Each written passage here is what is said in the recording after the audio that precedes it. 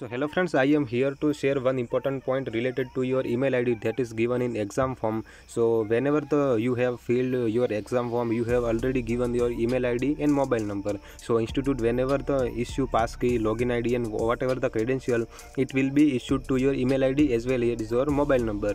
So suppose you are not getting email from institute, so what uh, you have to do? So that thing I want to share with you. So that is relevant for foundation, inter and final. So do share this video with each and everyone and subscribe the channel for more information and updates so let's start suppose on exam date you have not got email from institute so what you have to do? So you have to check your uh, mail regularly. Along with you have to check your spam folder that is given in email. So you have to uh, check that spam folder because whenever the institute will issue uh, some uh, links and otherwise passkey and uh, whatever the credential it may be go in spam. So you have to check regularly spam folder also in email id so that is the important point i want to share with you. So do share with uh, do share this video with each and everyone so that everyone can be aware of this and also subscribe the channel for more information and updates. So thank you everyone